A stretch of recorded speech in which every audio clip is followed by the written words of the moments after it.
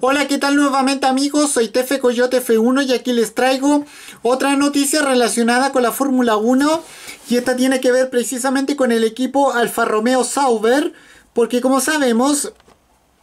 el equipo Alfa Romeo Sauber confirma la, fecha de presentación de su C37 porque la escudería italo-suiza eh, será la segunda en hacer pública la imagen de su nuevo auto de Fórmula 1 para esta temporada 2018. Y bueno,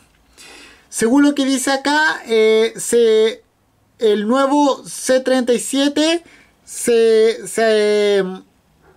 se hará oficial, eh, visible, se hará visiblemente oficial eh, el día 20 eh, de febrero durante una presentación que se podrá seguir vía online y además según la agenda provisional de presentaciones Alfa Romeo Sauber será la segunda escudería en hacer público eh, su nuevo automóvil cinco días después de que lo haga el equipo inglés Williams y bueno